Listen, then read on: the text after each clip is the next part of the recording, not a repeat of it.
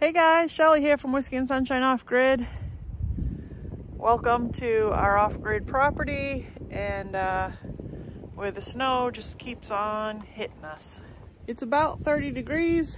The past couple days we've gotten a couple inches of snow, two or three, and uh, got to keep that hill plowed off so that it doesn't ice up if it rains or warms up and freezes over quickly or whatever. So we have to uh, keep it cleared off. So I decided to just plow around and open things up for us and the chickens and make it easier to get to the firewood and for the chickens to move around and the dogs. So did a little bit of plowing this morning, hanging out with the chickens. And the birds are out and they're singing. They're pretty happy.